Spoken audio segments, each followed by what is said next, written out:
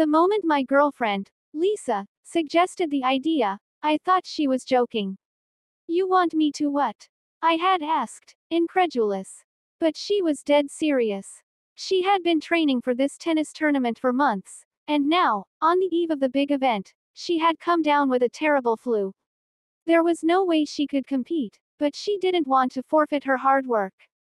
Her solution, a magic spell that would transform me, her boyfriend Andy, into a copy of her. Just for the tournament, she promised. It's only a few matches. You'll be fine. Reluctantly, I agreed. How hard could it be to win a few tennis matches against a bunch of girls? I played sports, after all. Little did I know how wrong I was. The transformation itself was bizarre. One moment I was looking at Lisa, and the next, I was looking at myself. Well, at Lisa's reflection, but it was me. I felt a strange mix of disorientation and fascination. My body had changed completely. I was now a perfect copy of Lisa, right down to the long hair, the soft curves, and the chest. That was the first challenge. I had never realized how much movement those parts of the body experienced during physical activity. Every time I ran or jumped, it felt like I was battling my own anatomy. Then there was the outfit. The skirt was short and fluttery, and the ruffled panties were more distracting than I'd anticipated. I kept trying to adjust them, which only made things worse. Stepping onto the court for my first match, I felt a wave of nervousness wash over me. The other players eyed me curiously, but I tried to maintain my composure. The first few points were a disaster. My usual strategies didn't translate well with this new body, and every time I tried a powerful backhand, my chest got in the way. By the end of the first set, I was down and struggling to keep my focus. Sweat poured down my face, and the ruffled panties were driving me insane, tickling my thighs and distracting me from the game. Lisa's voice echoed in my mind, reminding me of her warning. If I didn't win, she'd leave me like this forever. The thought sent a chill down my spine. Desperate, I tried to find a rhythm. I focused on playing smarter, using more finesse and less brute force. Gradually, I started winning points. The second set was close, but I managed to pull ahead, taking it by a narrow margin. The final set was a grueling battle of wills. Every time I wanted to give up, I thought about being stuck in this body forever, and it gave me the strength to push through. With one final, triumphant swing, I won the match. The relief was overwhelming. I fell to my knees, gasping for breath, as the crowd cheered. I had done it. I had won. Back in the locker room, Lisa was waiting for me with a big smile. I knew you could do it, she said, hugging me tightly.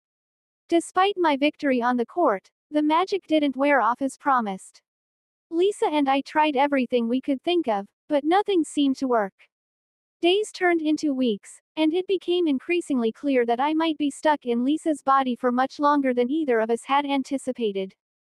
At first, the prospect was daunting. I struggled to adapt to the daily routines and challenges of living as a girl. Simple tasks like choosing an outfit or applying makeup felt like insurmountable hurdles.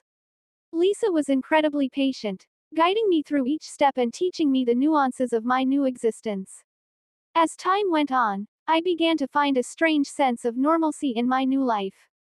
I discovered that I enjoyed shopping for clothes, finding the perfect balance between comfort and style. I even started to appreciate the ritual of doing my hair and makeup each morning. It was like preparing for a performance, and it gave me a sense of control and confidence. One day, as Lisa and I were walking through the park, she turned to me with a thoughtful expression. Andy, she began, hesitating. How are you really feeling about all of this? I mean, being me, being a girl.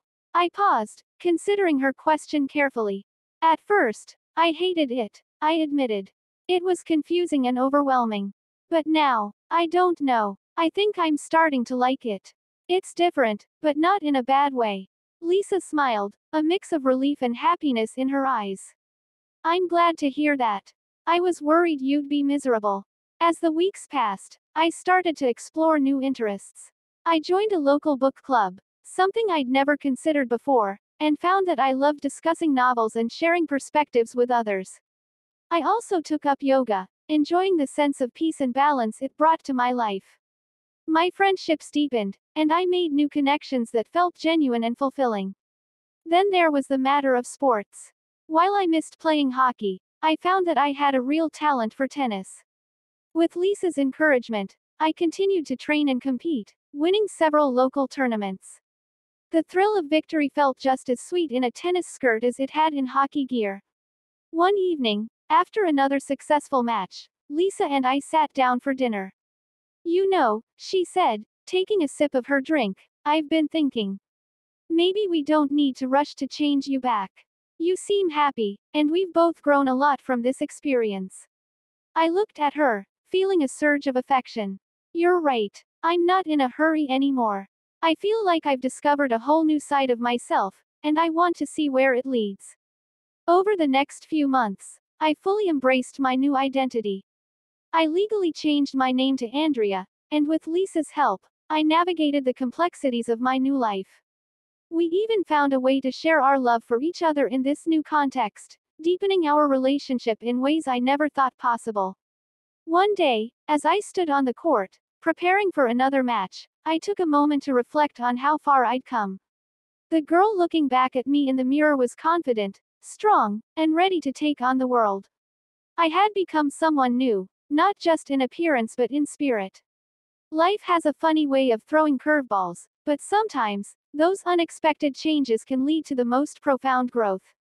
Being Andrea wasn't what I had planned, but it turned out to be exactly what I needed. And as I stepped onto the court, the cheers of the crowd ringing in my ears, I knew that I was exactly where I was meant to be, living life to the fullest, one serve at a time.